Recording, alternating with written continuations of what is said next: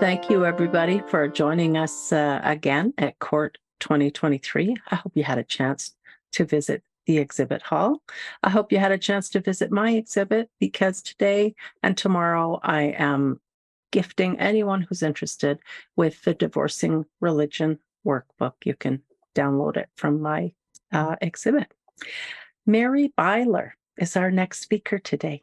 Mary is the manager and founder of the Misfit Amish, an organization dedicated to providing secular support and resources to Amish and ex Amish survivors. She is also an educator and advocate for Amish children. I had the pleasure of meeting Mary in person recently to explore the potential for setting up some secular recovery centers in the USA, and I appreciate the passion that Mary brings to recognizing religious trauma and the need for recovery. Her talk today is an Amish baptism. Welcome, Mary. I'm glad to see you again. Hi. It's very nice to see you again, and thank you for the opportunity to be here. Um, with with that being said, I, I like to start out by giving a little bit of Amish background. I was born into an Abe Troyer Amish church. I went in, on to live in four other Amish settlements. They were all old order Amish, but they were all distinctly different. There's a large amount of diversity in Amish settlements, and it's important to recognize that. I escaped in 2004, and yesterday I realized, to my surprise, I, I can't really like escape being here. It's not optional. You know, I, I kind of made a commitment. And, um, you know, I had to get in here and speak. But here we are. I'm sure all of you are just as disappointed as I am to learn that. And once you've shed our disappointment, we got it out of the way. We're over it. I am very honored to be speaking here. Thank you for having me. I just want to say that throughout the years, I have spoken publicly about abuse within Amish homes and settlements. I published a book in 2022. It's called Reflections and Memories of an Amish Misfit. My therapist says that's not true, but I digress. I felt that I couldn't adequately describe what unbaptism meant to me and why I chose to do it publicly without giving you some background. First, we will discuss three main parts the background of what my Amish baptism looked like and what I experienced, the reasons why I wrote my unbaptism, how I performed my unbaptism ritual and why I share it with others. And if there's enough time, there's also a recording. To begin with the background, it's again important to note that depending on your family or church district, or even settlement, some of the experiences I had in being baptized could be different. In our Amish settlement and family, it was expected of me to join church at age 17. I felt immensely pressured because of the ways in which I had observed people being treated who did not go after church. We didn't call it joining church, we called it gestigmeno, because our language was PA Dutch, not English. And we said we were going after church. That's how it properly translates. But, anyways, because of the ways in which I had observed people being treated who did not go after church at the correct age because they were unsubmissive to the will of the Lord, there were many consequences. Some of the consequences I observed were allowing a certain color of paint on the bedroom of the person who didn't get baptized at the right time. After the person was baptized, the room was repainted with a more acceptable color. Many deep conversations being held with the person who was seen as unsubmissive to the will of the Lord and kind of stepping on the privilege of being born Amish by not complying with the demand of submitting to the will of the Lord and getting baptized at the right time these conversations didn't just come from your family or ministry, it came from everybody around you and included the ministry. At the same time, Amish sermons often hammered down on the fear of being eternally damned and condemned to a place where there's an everlasting fire with eternal torment and gnashing of teeth. This was terrifying since I believe that when the ministry We had a bishop, two ministers, and a deacon. Got up to preach or perform their duties. They left themselves on the backless bench and God spoke through them. Another incident I observed was a boy who didn't get baptized at the right time, who got a green buggy seat. And he finally went after church. He was baptized. The next spring, after he was baptized, the ministry got together at their their timed um, convention where they uh, would rewrite the rules of the church and they wrote out green buggy seats. And every single young boy who had green buggy seats had to go change their buggy seats. He lost his green buggy seats. Seemed to me like that was a manipulation and a very co- coercive way to show the ministry's power over the members of the congregation i concluded that not only was it easier to get baptized at the right time Baptism was also something that could potentially help protect me from the abuse I was experiencing. Sadly, that was a lie. I believe it from the church and from my family and from the teachings that I had experienced from the earliest age. However, who knew religions could lie to you?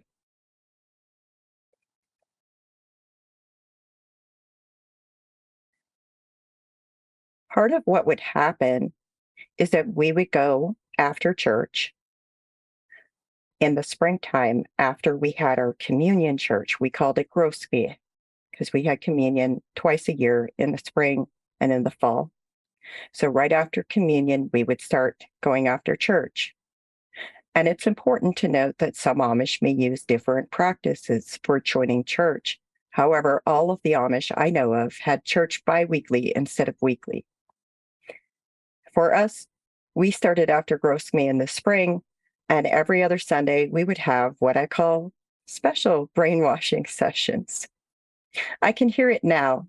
So there I was, a young, impressionable 17 year old child who had been taught from the cradle, from the moment that I drew my first breath, that I was privileged to be born Amish.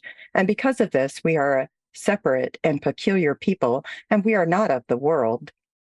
We have the hope that we can someday go to heaven. And it is time at 17 years of age to get baptized because that is the will of the Lord. And you just have to submit to the will of the Lord in your life. And when you do that, everything else will fall into place. So imagine this a house filled with men and boys in the living room. And at the very back in the living room, on backless wooden benches, about 15 to 20 girls, aged 12 to 20, all arranged from eldest to youngest, lest we forget to honor our elders. The women, younger girls, and babies in the kitchen. We started off our holy day with a song led by a man because a woman could never lead in song during church, lest we forget that we were made from the rib and therefore could not lead in church services. It went something like this. Oh, and then everybody joined in.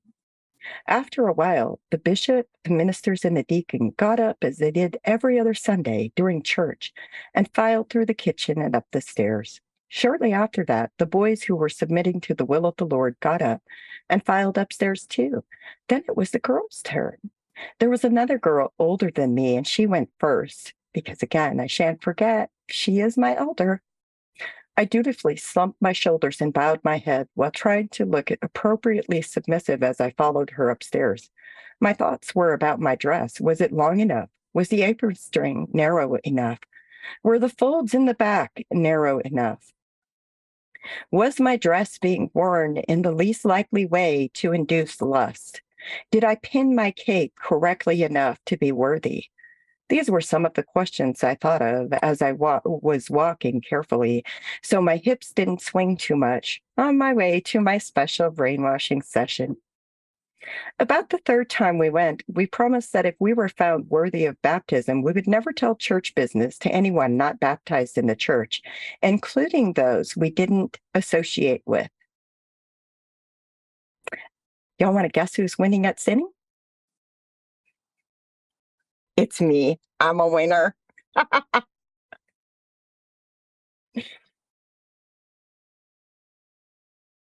So, anyways, I'm a winner at sin- sinning. That is a fact. We all know that, or we should know that, according to what I was taught in childhood. So that fall, we were found worthy of baptism. And I'd like you to picture a shed with backless wooden benches filled, men and boys facing women and children. For babies don't usually sit with their fathers until they're potty trained. With the baptism class in the center, all eyes on them, late in the service, it was time. One by one, we all knelt.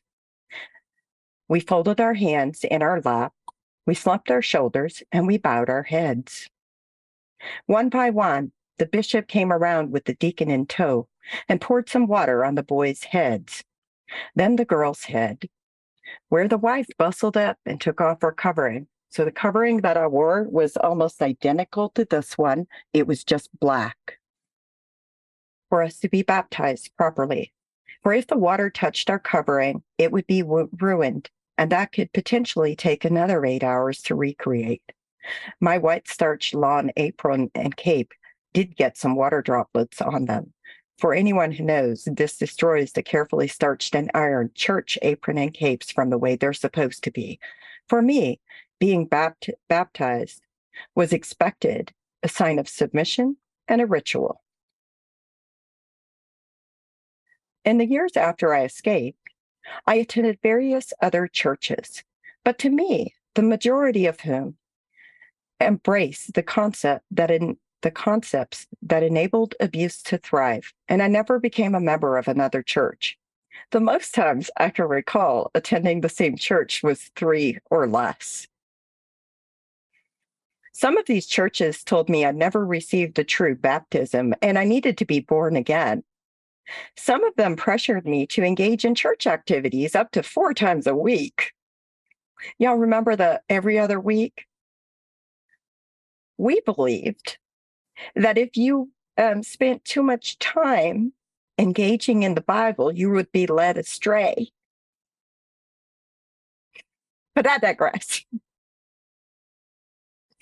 By then, I was able to recognize the love bombing coming from churches, and I refused to engage with any of them when I recognized that. I eventually studied Buddhism, which led me to study Wicca, which was also not my way because Wicca is just another organized religion, very rigid in its thinking. I then studied eclectic paganism, which led me to become an atheist. And it still took almost a decade to be able to say, I am an atheist. I discovered in therapy it was traumatic to even discuss and to begin dissecting the ritualistic and expected baptism. I knew the consequences of noncompliance with the expectation. It was safer for me to be baptized. And even if I felt some rush of the trance like state that was induced from the effect of being worthy of baptism on display in front of the church, it was still traumatic. Many years later, as I navigated life in the aftermath of it all, I determined it might benefit me to redefine this ritual into something that not only reclaimed my Amish heritage, but also owned my own bodily autonomy. What I started with, I started pulling the things from the ritual that stuck out. There were three questions that were asked of me before I was baptized. While I don't remember two, uh, one of them. I do remember the first one. It was, Do you believe in the Father, the Son, and the Holy Ghost? And we had to say yes because we did believe in the Trinity. And the other one that I remember was again, we had to promise not to tell church business to anybody not baptized in the church. And what I decided to do is create like three symbols, three statements of affirmation take back my own bodily autonomy and to do it in a way where I looked at the clothing that I was required to wear, the clothing that was constricting me and confining me to be this object that if I walk down the street, like people would slow down in their cars and take photographs of us, even as children. where if I walked wrong, if my hips were swaying too much, I actually had special sessions with my stepfather um, determining how I should walk in that dress. And some of these things came up as I started looking at how I'm going to reinvent this and make it into something that I can live with. And then I had to process that before I could even like begin rewriting the ritual. Because when you've had clothing be such a large part of you, you have to find a way to be okay with putting on the clothing that feels like it's oppressive, the clothing that feels like you're being objectified again. You're being looked at as an object, you're being fetishized, you're being looked at as something inherently sexual. And not just by people in your church, but also by people external to the church who fetishize the idea that all Amish women are submissive I'm here to tell you we're not. Whether we're compliant or not, nope. Let me tell you about my grandmother. My grandmother was four foot 11. My grandmother, she used to tell everybody dynamite comes in small packages. Even people external to the settlement that she lived in knew that my grandmother was the one. My grandmother could make change happen. So we're we're not silent, we're not submissive. People have just decided they need to speak for us. And part of that also meant that instead of having a man do something for me or take over a ritual for me, what I needed to do is actually speak for myself in my own ritual. I needed to write my own ritual. I needed to find a way to sort it out and yet still embrace that clothing. So, what I ended up doing is spending months processing this in therapy, writing about it, all of the things that came out to include like being able to put on that covering again, being able to figure out a way that this allowed me to embrace who I am.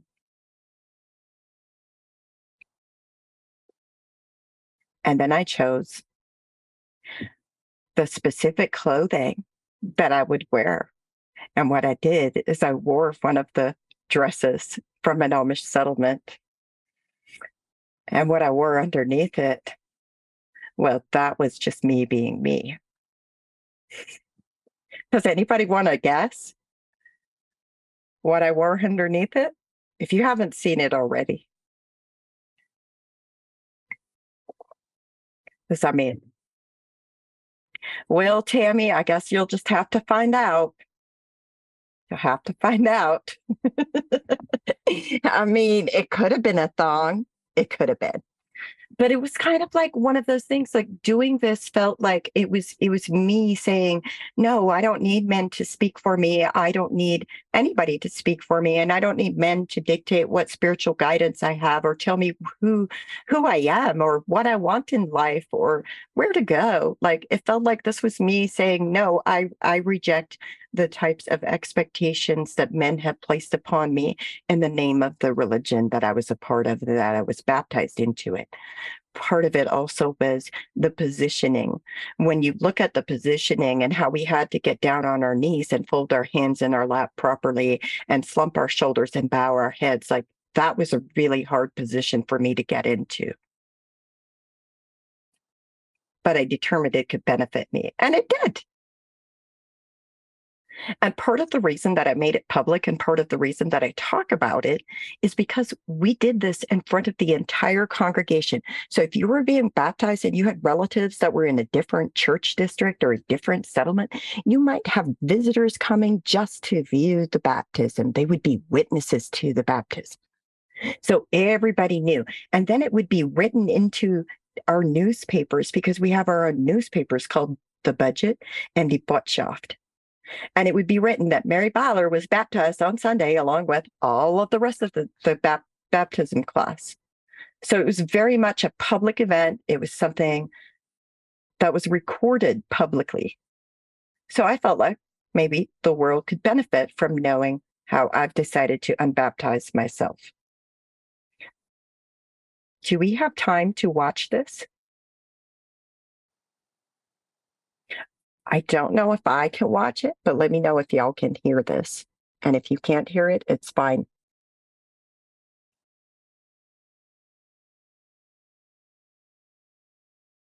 Can't hear it? Okay. Let me do this. I will read this. I reject religious bondage. I reject ownership of people born with vaginas. I reject victimhood.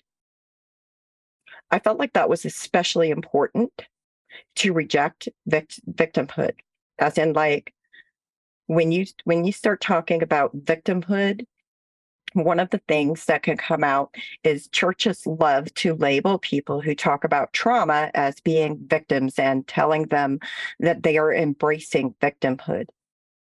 I'm so much more than a victim. I reclaim my power and bodily autonomy. I claim my birthright of being an Amish apostate. I destroy all gods placed above me and then I ask myself three questions. Do you promise to free yourself from the chains of generations of indoctrination? I promise to free myself from the generations of indoctrination. I free myself. Do you promise to own and accept your perfectly imperfect self as you are? And I do. I own my perfectly imperfect self because nobody can ever be perfect, but I can surely own that I'm imperfect, but still kind of perfect. Do you promise to rise from the ashes of the fires that you were burned in and own your voice and speak your truth? I vow to rise from the always from the ashes of the fires they burned me in. I will always rise. I vow to always speak and raise awareness of the sins of the Amish. I will own my voice and speak my truth, and as I will, so be it. I just want to know what y'all think of that outfit. What do you think it said to me? I'll give y'all a few minutes. Well, you know, even though I was wearing the modest dresses when I was repetitively raped as a child, those dresses did not protect me from sexual abuse, sexual assault, from abuse of all sorts and all types. But I was still blamed for it. And so part of that is me saying, I don't really give a F. Sorry, I'm cursing bad words, Janice. Is that okay?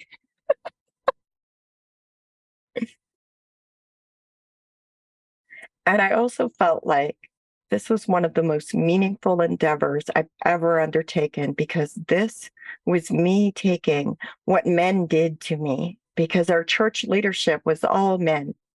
Our church was structured and giving men bodily autonomy, but then turning around and calling them animals or talking about their uncontrollable urges.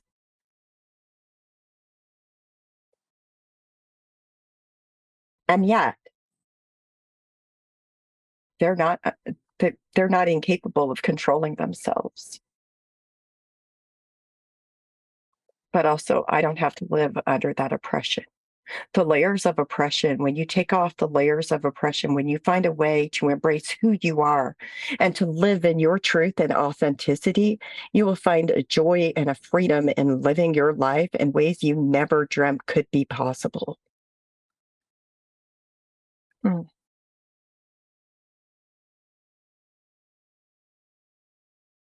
And then the other part of this specific thing, the outfit that I'm wearing here, the corset, we were not allowed to wear corsets. It was it was written in our church rules. Matter of fact, when I escaped, did y'all know? Did I ever tell any of you that I had to have somebody teach me how to size a bra? Because I didn't know how to size a bra because I wasn't the one who would go and and make sure that I had a bra. So like it's like one of those things that this sizing a corset is just a step up from what's really allowed to be worn.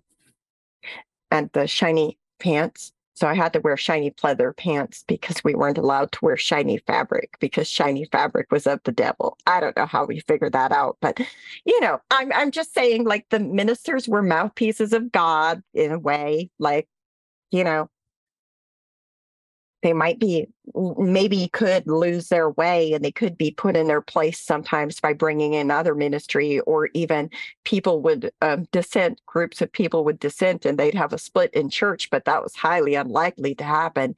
And in all of the settlements i lived in pretty much shiny fabric was just the devil incarnate.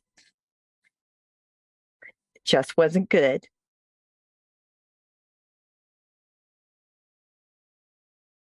and I I want to share too, like my feelings about this are very varied, but generally positive because I felt like I took back so much of me and who I am. And I felt like I got to do that. And I felt lucky because I'm in a place to do that. I have the support to do that. I had the therapist available to help me navigate through that. I had the support of other people outside of that to help me as I was rewriting the stuff. I was able to find outlets doing art and creative things like like painting. I do do a lot of paintings. My whole house is filled with them. I feel like that's a um, an obsessive coping skill right now. But it's very helpful. And I would encourage everybody, if you've experienced a ritual like this or similar to this, to go find something, some way for you to take back your own bodily autonomy and your own power and take back your voice. I really would. I also think that I, I don't think any Amish bishop I've ever met would be willing to unbaptize someone or just allow them to leave without enforcing the bond and mitem. I was um, placed in the bond in 2004 after I reported abuse. And uh, some people say it's because I was baptized, but really, was it because I was baptized, or was it because they waited until after I reported the abuse and then didn't follow their own procedures for placing me in the bond? And so for me, it felt like in this, I am taking back part of my power over that as well, because they didn't follow policies and procedures that the church had in place to put me in the bond that meant that part of my Amish identity was taken from me forcefully. And it wasn't just that way, but that was just one of the ways. And sometimes we are taught that if we don't comply with certain cultural and familial expectations, part of who we are is taken from us. And then people say, well, it's your fault. You knew that was the consequence. But is it really righteous or is it really holy if it's something that results in harming people? And yet it's still done in the name of love, but yet it still harms people and it drives people to commit suicide. That's the reality of what shunning does. So, rewriting the Amish baptism ritual that was performed on me as a 17 year old became this burning need. And I just did it. And I did it consciously. I did it intentionally. I had to not disassociate. That was a journey, but I didn't. And I dismantled every part of that ritual to reclaim me. And it has been just one of the tr- most treasured acts of my life after religious trauma. It means a lot to me. That journey to be where and who I have become has taken so many twists and turns as I've reclaimed my identity and my heritage in ways that don't compromise me. It's crazy. But pretty much, I get to be me without the trappings of a sin sifter covering. And less moder- moderator dresses, or you know, old world knee high socks from the Stone Ages. I do have to let you know the collarbone has failed to incite lustful gazes. My elbow boobs have currently been working overtime to make up for lost time. My worldly and tempting ankle porn has not made a million yet, but I digress.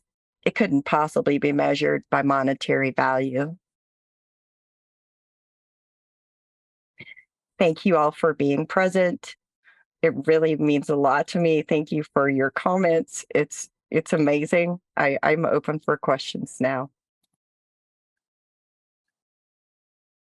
And we want to make sure people uh, get your book and see your book. And you said it's free today and tomorrow on Kindle. So people, Yes. this is your opportunity uh, to get Mary's book. So use that um, QR code. Uh, your story is incredible. Were you wanting to show us there some of the head coverings that you wore? Oh yes. Let me can we make well this this the link to my book is also in the display. It's fine. Um, but if you can make me big, I'll show the coverings, some of the coverings. I don't know Oh. how to do that. Sue, are you there? Does Mary have to stop um, sharing her screen?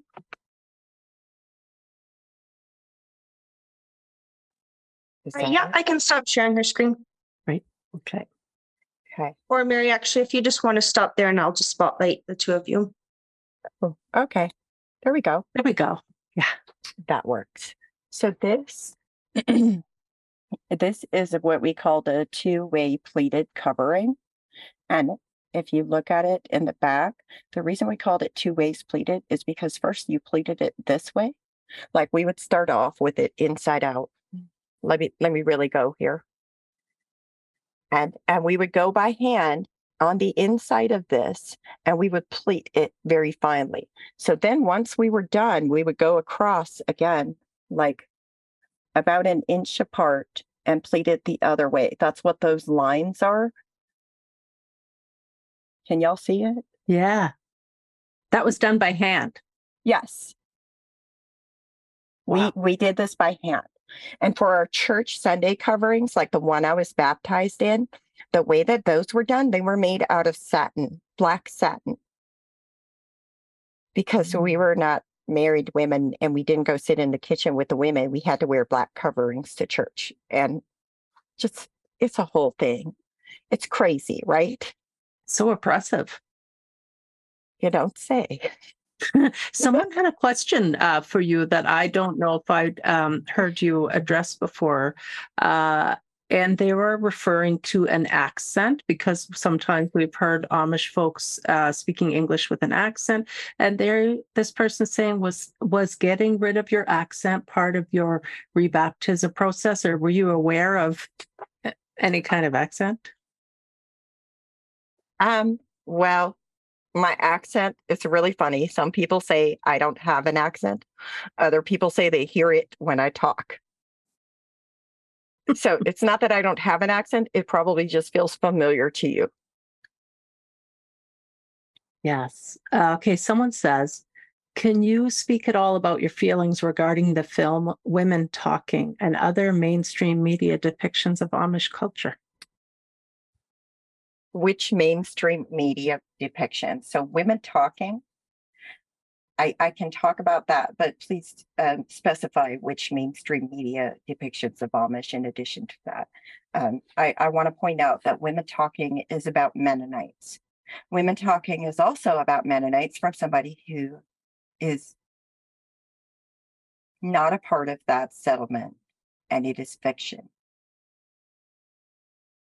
I mean, the the Mennonites that I personally have connections with who come from the settlement that um, it was written about. They feel very angry and betrayed by it because it's not an accurate depiction of what actually happened and because it's fiction and people celebrate it as such a wonderful thing. But it basically betrays the survivors in that story. Wow. I had no Uh, idea.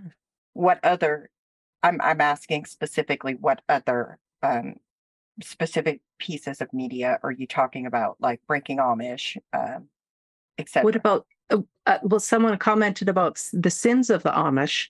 They said, I really think that Sins of the Amish is amazing. Really incredible to see the female pioneers standing up for women and children in the plain communities. Mary's presence in the film is incredibly powerful and moving.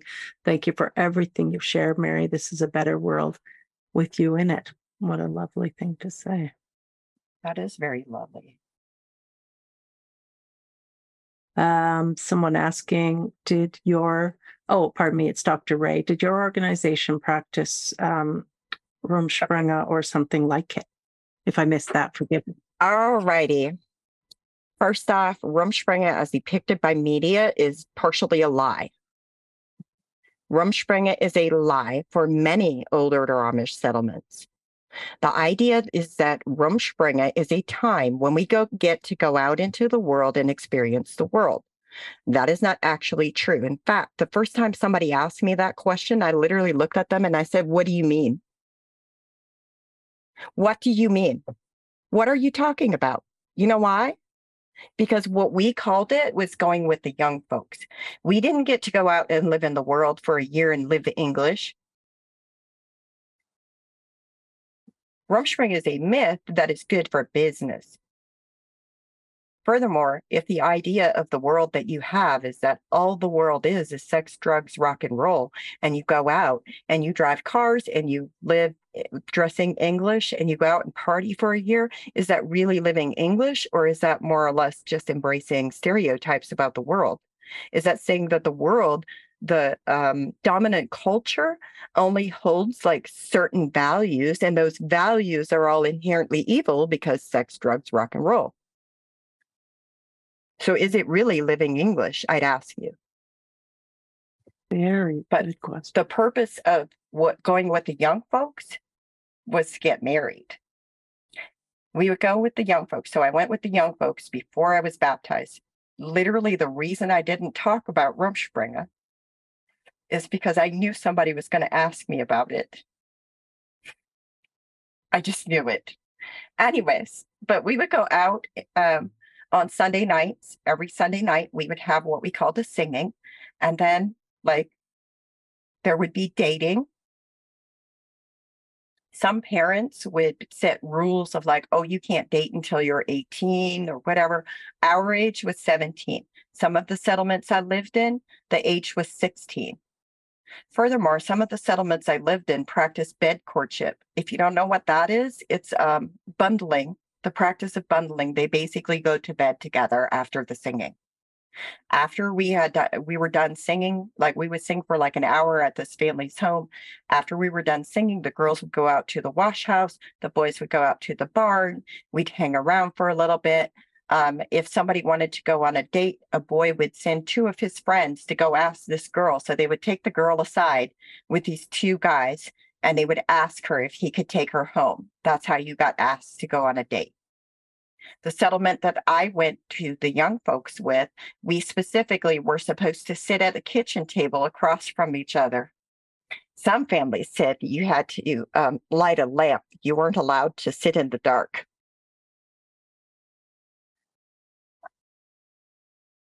However, I dated a guy, let's call him Henry. I was supposed to marry him the summer that I escaped in February.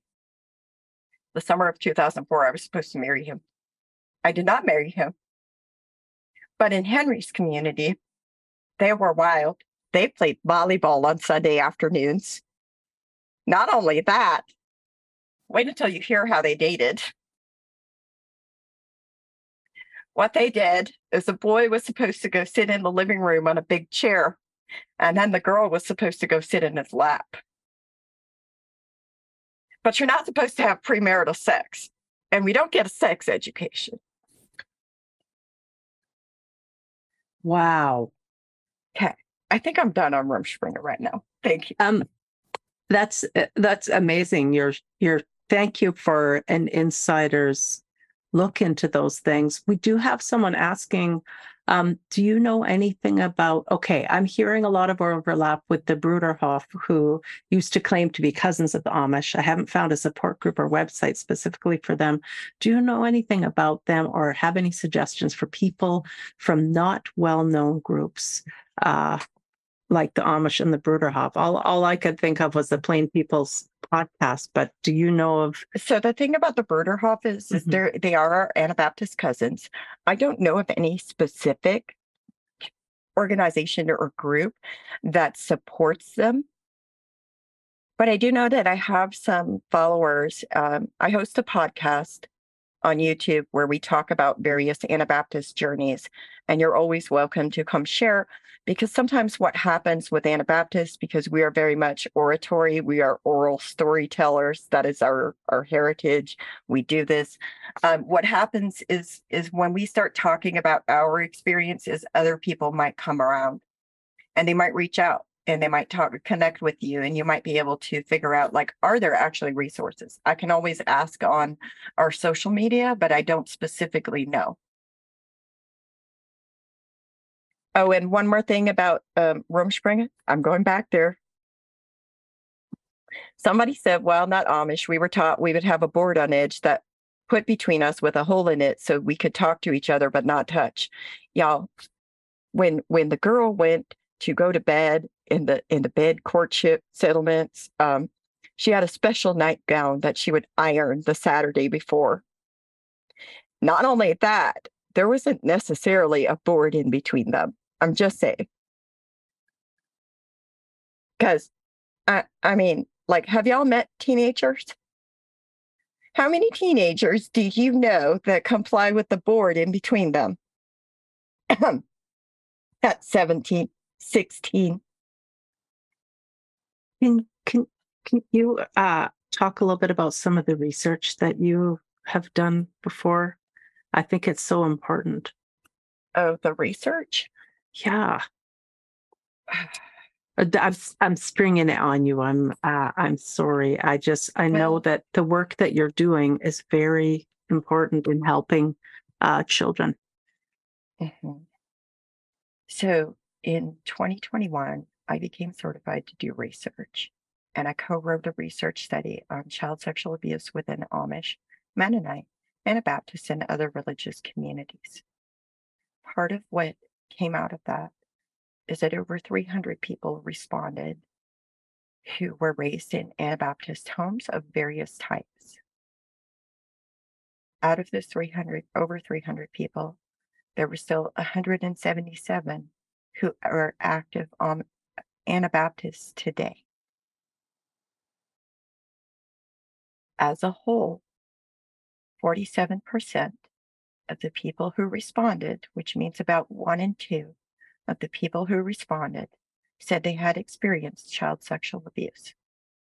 And I would caution you to remember that sometimes um, people who have been sexually abused as a child might be more interested and more invested in research about child sexual abuse. Maybe that could be part of the reason why. But we also don't know without um, questioning the entirety of Anabaptist communities, which is not physically possible. So for right now, for the people who responded, that is the rate that we have.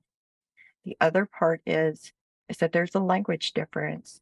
As I mentioned, um, English is my second language. PA Dutch is my primary language, and we ask our participants um, if child sexual abuse, if they were taught child sexual abuse was a sin. If they said yes, they then went on and were asked an additional question about what they called it, what were the names for it. Some of the things that came out of that was like moral failure. There were some who were correct, but those were very rare. There were a lot of moral failure, um, non consensual sex, or some of it was thought that some of them, the girl was evil, sent by the devil to tempt church leadership.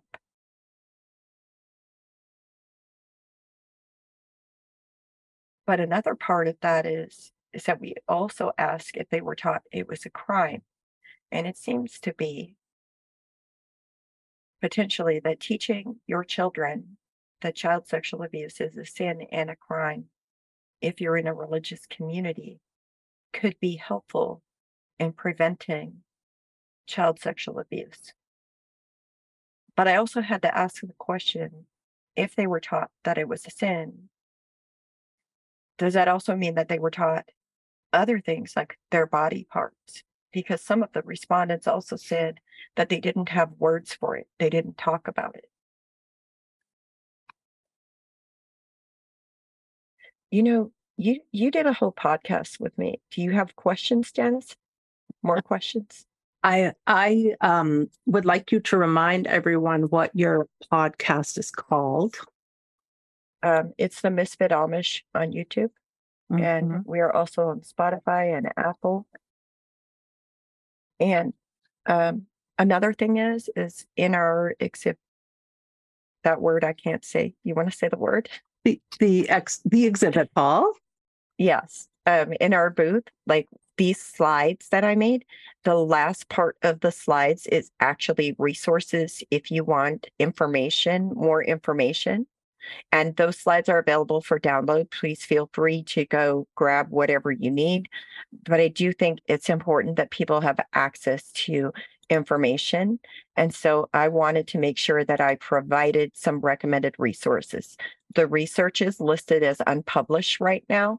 We are still working on revisions and we're hoping to submit it for publication sometime before the end of this year or early next year. There are books listed, there are podcasts listed, there are um, on our website, there are printable resources that anybody can download and print and disseminate around public places, around Amish settlements. They're specifically made because in 2021, Jasper Hoffman and I, Jasper Hoffman is from the Plain People's podcast, and her and I got together. We spearheaded a project where we went to Amish abuse awareness meetings and we um, collected information about what was missing from the teachings that they were providing. And so we created these resources based on that. And we also considered the fact that English is the second language and the fact that people who grow up in religious environments might utilize English differently than, say, somebody else would. Like if, if some of the things I say in English come out wrong, I'm telling you, they don't come out right. I may sound okay right now, but yeah. Sometimes I'll tell my kids something like the trash is all, and my kid's like, What are you talking about? trash bags are all. I'm just saying. uh-huh. Anybody have a struggle with that? The trash bags are all? I love it that you um that you did such a a powerful action as your own unbaptism. I think that is so significant, so important. Uh, I mean, perhaps maybe even as important as writing a book and you know breaking that vow or that covenant not to discuss things uh, with outsiders. And boy, oh boy, you have just gone to town with that. It's amazing. Well, see, I wrote my book as like a big middle finger to people who have used. Let's be real. All right, y'all. I want everybody to guess what song. I wrote my book in two weeks and I listened to one song on repeat. I'm slightly autistic here, slightly. Okay. What song do you think it was? Mm. And I'm going to tell you why I wrote my book while y'all guess. Pour some sugar on me by Def. Nope. oh, you're going really gentle. Nope, nope, that wasn't it. Someone Uh, says freedom from George Michael. Nope, nope. I wrote my book because since I began speaking out against the child abuse and child sexual abuse, specifically in Amish settlements in 2004, the amount of times people have used my trauma for their own benefit and gain, and they have removed aspects like, didn't you enjoy hearing about my grandmother? They won't write about that. Media will not write about my grandmother. They won't write about the people that I want them to write about too. So I wrote my book to tell my story and my life experiences in a way that I feel comfortable having it out there because it talks about the things that I experienced, but it also talks about the things that kept me alive, the people who kept me alive. That's why I wrote my book. Nobody else has guesses for this song? Come on. Let me down now. Now I'm on I- I- pins and needles. What is it? What is it? Oh, weird, weird Al Amish. No, no, Paradise. no. Now you're going into absolutely think religious trauma thong- songs.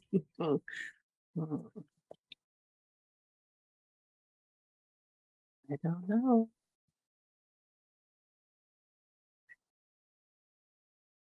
I will survive, someone says. Nope, that's that's a closer guess, Tammy, Tammy, but that's no, No clue. no clue.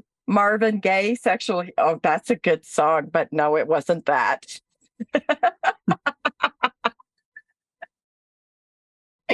Tara, Do you see? what- Are you talking about what? Yep.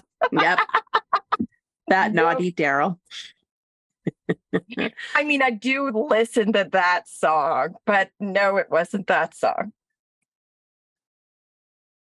Oh, someone saying a playlist of songs on religious trauma would be very helpful. I, think have a whole actually a good playlist on. CPTSD Oh, on Spotify. okay. Please tell Okay. us what your song was. Y'all don't laugh too hard, Too late. okay? Losing my religion. Yes, of course. That makes perfect sense. I can't believe I didn't think of that. No, we're in a religious trauma conference. How do you ah, that was great. Losing my religion. Yes. That's Yeah. me in the corner. Yeah. I I was wondering about when you left, um, like when you escaped. Uh, was it, did you find it hard to uh first appear in public in kind of regular oh clothes? Oh my God. You want to hear the funniest thing? When I went out dressed in my Amish garb, men would be horrifically, awfully objectified.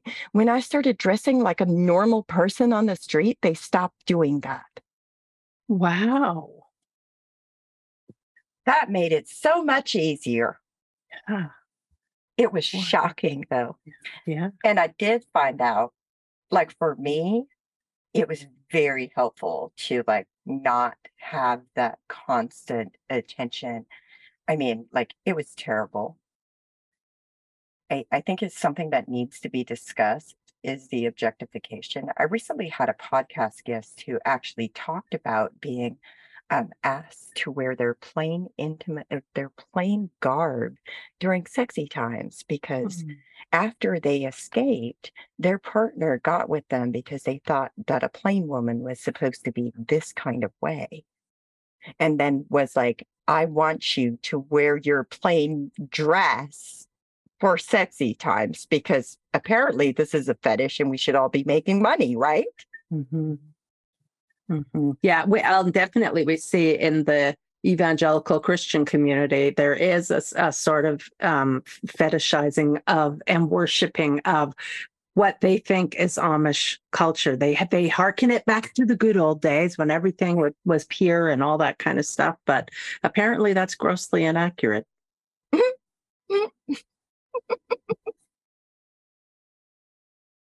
Well, I have to wonder sometimes if it's because there's certain men inside of conservative Christianity who believe that Amish women are, or Amish people as a whole are closer to God, and Amish women specifically fall under the umbrella of protection. So it's like you know God, the ministry, the church, and and um, their husband or their father, like the the ways in which we are controlled are absolutely like when you get married so one of the things that i was told is when you get married you have to do whatever your husband says whenever he wants to because then like ownership passes passes over to your husband and even if they're not in an Amish setting, they look at Amish as upholding those values. And so they look at Amish women as being specifically trained and amazing, and they um, stereotype us all into being submissive, good little wives. Mm, Do you think that's a Mhm. part of it? mm, Anybody? Anybody have thoughts? mhm. Uh, Someone is asking about your playlist of the trauma songs too. Is that anything that you would ever um, share? I think it might be public on Spotify, to be honest. I might be able to grab you a link. Okay. Wow. And uh, Mary, I think you also attended last night Dr. Danielle Kramer, the sex therapist and sexologist. She was talking about uh, women being objectified um, as well. And I wondered what you thought. Oh, thank you for sharing that. There's your playlist. I wondered what you thought of Dr. Kramer's um, talk about sexuality and misogyny and all those things. Well, I think there was a lot of different, there was a lot of language around it. I have to go back and re listen to it. But there was a lot of a language around it that it was a lot to take in at once. Mhm. And part of it was is like inherently, I've I've experienced this thing when I talk about the lived experiences of Amish women, where I get people from the outside who've never been Amish. They're like, "Oh, I'm a driver for the Amish. I know about the Amish. You know, we're all laughing at you. You don't know what you're talking about." And and then there's people who are like, "Oh no, let me tell you about the Amish." Or there's people who say things like, one time I was on an abortion panel and I shared like my experience with an abortifacient. And um, the host actually responded with, you know, as you were talking, I was just looking around at all of my Amish furniture and thinking about how much I love it. Like, I thought about that when she was speaking too, Mhm. because I'm like, you know, why do people do that? Hmm. And and is that similar across different branches of conservative Christianity, or is it just Amish people? I'm not sure. I don't know. People trying at some to make a connection at uh, at some point. Sometime I'd love to talk with you about that panel, the abortion panel um, that you were on. I think we're pretty much at the end of our time. I hope that you did see that Mary included uh, her Spotify list there. I encourage you to take a look at it. I do encourage you all to also watch Dr. Danielle's Kramer from last night. It was very interesting uh, fascinating talk. Um, and I think we have come pretty much to the end of our time uh, with Mary. We are going to have a short break. Make sure you check out the exhibit hall and everything that's offered in there. Mary, people are so appreciative, as am I, that you shared today your experiences. Thank you so Thank you much. for the opportunity. It was Great I mean, go get you your free copy of my Kindle book. I don't even care if you read it; just get a free copy. Thank you. Thanks so much. okay, everyone. We'll see you again in 15 minutes.